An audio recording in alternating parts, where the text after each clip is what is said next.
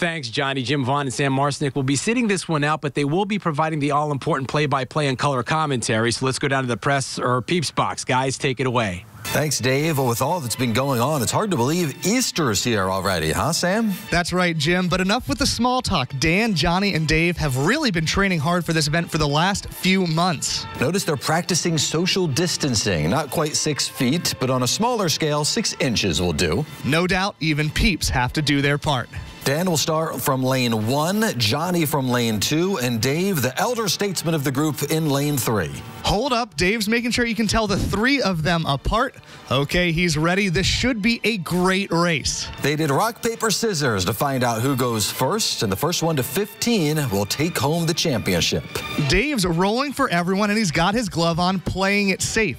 Johnny gets the first roll, and okay, he's got a good charge. Four spots to take the early lead. Dan follows and he's sputtering out of the chute, just moving one space. So much for that energy drink. Dave finally gets it going, and wow, who knew? A six. Wow, the OG in the lead. Good start, but can he keep up this pace? Dan in last place starts the next round, and nice, he rebounds, shooting a five, moving into a tie with Dave.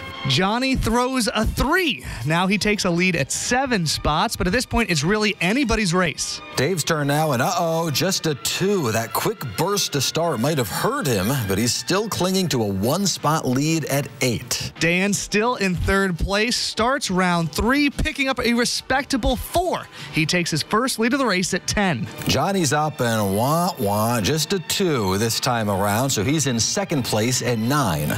Dave follows with a solid three, reclaiming the lead at 11. Things setting up for a photo finish. Johnny starts round four from the back of the pack and comes up huge, flipping a big five to take a commanding lead at 14. Dan finds himself a three. He's losing steam, but he's in second at 13. It's up to Dave, and unbelievable. He bookends things with another six and crosses the finish line. Winner, winner, chicken dinner. Let's go down to Dave now as he accepts that championship trophy. It's been a lot of work, tireless hours of running in place and staying out of the fridge, but it was all worth it. I'm already looking forward to defending my title next year under better circumstances. Happy Easter from all of us in the 69 Sports Department. Dave Lesko, 69 Sports.